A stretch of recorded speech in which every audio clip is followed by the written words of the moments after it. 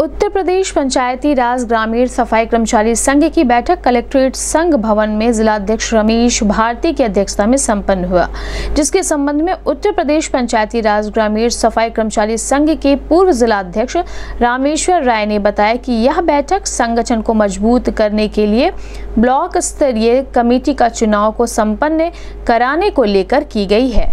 उन्होंने कहा कि इस बैठक में यह निर्णय लिया गया है कि हर ब्लॉक में अध्यक्ष, मंत्री, कोषाध्यक्ष पद पर चुनाव होगा, जिसमें प्रथम एवं द्वितीय चरण का चुनाव 17 दिसंबर को एवं तृतीय चरण 18 दिसंबर को होगा।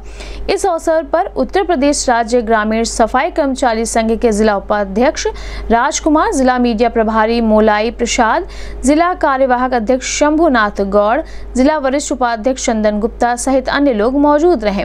इस संबंध में गोरखपुर न्यूज़ से बात करते हुए उत्तर प्रदेश राज्य ग्रामीण सफ़ाई कर्मचारी संघ के पूर्व जिलाध्यक्ष रामेश्वर राय ने कहा।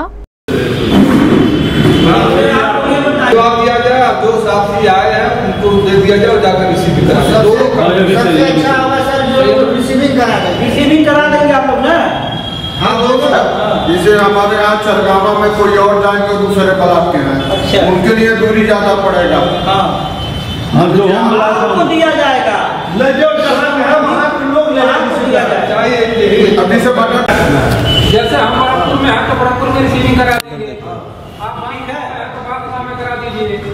ये मेरे यहाँ के प्रॉपर यहाँ जो लोग नहीं है वहाँ पे मान लीजिए जिस ब्लॉक में आप तैनात है उसको छोड़ दीजिए। जहाँ के मूल निवासी उस ब्लॉक में दे दीजिए वैसे तो बेटर है। सब लोगों को दे दिया जाए प्रेस मीट दे दिए ना अरे भैया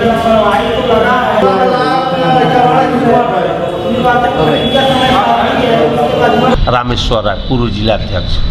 ग्रामीण सफ़ाई कर्मचारी संघ की बैठक है हाँ। जो जिलाध्यक्ष का चुनाव हो चुका है। अच्छा। हम लोगों के संगठन के मजबूती के लिए तो जो ब्लॉक स्तरीय बीसों ब्लॉक के चुनाव है उसके चुनाव प्रक्रिया के लिए हम लोगों की बैठक की गई है। इसमें हम लोगों का सत्रह तारीख अट्ठारह तारीख को पर्चा दाखिला है और बाईस तेईस चौबीस को चुनाव है। उसी के संबंध में है। चूँकि हम लोग छोटे तबके के कर्मचारी हैं, हम लोगों को ब्लॉक पे हमेशा उत्पीड़न झेलना पड़ता है और उस उत्पीड़न को रोकने के लिए, संगठन को मज़बूत करने के लिए हम लोग ब्लॉक स्तरीय कमेटी का गठन कर रहे हैं। जैसे कि मान लीजिए, पर्सनल काम हर लोगों के द्वारा कराया जाता है और उसको बार बार उच्च अधिकारियों को भी संज्ञान में डाला जा रहा है, लेकिन उसको कोई विशेष ध्यान न तो उसी तात्पर्य में अगर हमारा संगठन मज़बूत होगा तो हम लोग अपनी बात को दमदारी से रखेंगे। इसलिए हम लोग अपना ब्लॉक स्तरीय संगठन का चुनाव करवा रहे हैं।